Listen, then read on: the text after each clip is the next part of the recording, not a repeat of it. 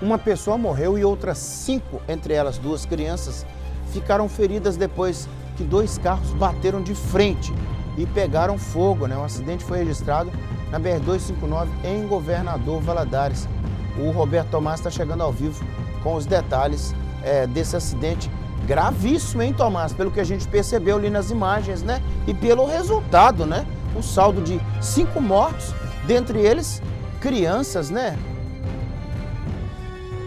É, Nicomedes, esse caso aconteceu na tarde de sábado aqui na 259, no trecho é, que corta ali o anel rodoviário de Governador Valadares, onde o motorista de uma picape Fiorino, ela perdeu o controle da direção, invadiu a pista contrária e atingiu esse veículo com cinco pessoas.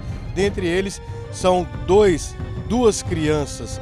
Essas pessoas se feriram, tiveram cortes e também algumas fraturas pelo corpo. Já o motorista da Fiorino, o Daniel Henrique da Silva Fontes, de 22 anos, ele foi socorrido para o hospital, mas não resistiu à gravidade do, da batida, do acidente.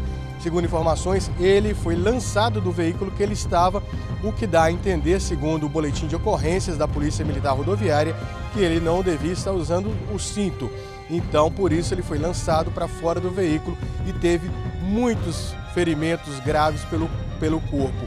Os veículos chegaram a se incendiar. Segundo informações, as pessoas que pararam né, para prestar socorro ajudaram a família que estava no outro veículo a retirar os pertences e também deixar o local próximo às chamas. O corpo de bombeiros foi chamado e teve que conter todo esse incêndio aí e a rodovia ficou bloqueada para o trabalho dos militares em comédia. É, Tomás, você me corrigiu bem aí, Tomás. Então, é, o saldo ruim, né, já é, um morto e, e cinco pessoas que ficaram feridas nesse acidente, né? A gente vê ali o estrago, né? Como que. E, e, e é tudo carbonizado, né, Tomás? Como, quando pega fogo assim, o carro, é combustão pura, é, é o próprio combustível, é o pneu que é borracha, o assoalho do carro, né? A própria pintura, a tinta, né? Ela tem é, um, um condão também de algo de combustão e por aí vai, né? Que, é, que imagem chocante, né? Triste. Um morto e cinco feridos, dentre os quais duas crianças corrigindo aí. Fala, Tomás.